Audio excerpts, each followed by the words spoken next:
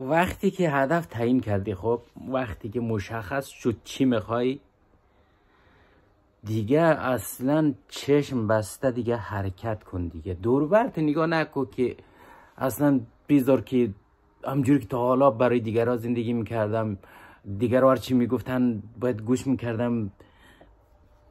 اگر, اگر نمی‌کردم خب مردم مسخره می‌کرد مردم میخندید مردم حرفی می‌زد. ولی اگر اونجوری باشه تو به هدفت نمی‌رسی. پس ول کو این دوربر اصلا هیچ توجهی نکن. فقط حرکت تو انجام بده اقدام کن چشم بسته بهتر کنش. مانع خودت با این کارهایی که اگر دوربرت نگاه کنی که چی بگه چی نگه اصلا این جلو خودت می‌گیری. مانع خودت میشی. هی چطور چی کار بکنم که دیگرام حرفی نزنه از این طرف رشدم بکنم. خب تو در حقیقت دیگرها پیش جلو پیشرفت نمی‌گیره خودت جلو پیشرفت می‌گیری. خودت باعث میشی که رشد کنی و خودت هم میشه باعث میشی که جلو پیشرفتت را بگیری. مزاحم خودت نشو. از سر راهت برو کنار.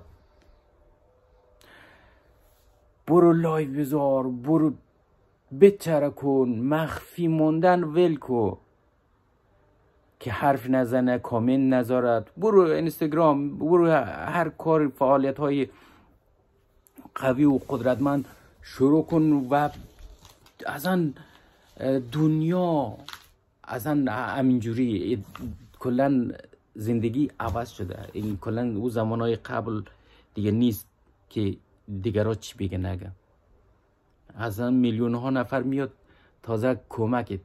دست به دست هم پیش رشد پیشرفتت اصلا تو رو به رشد میرسونه به ترقی اصلا اونها اما مردم فکر کو اینجوری فکر کو.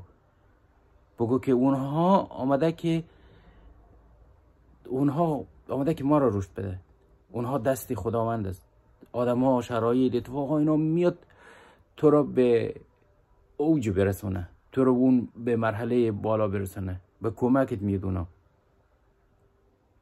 و اینجور باور داشته باش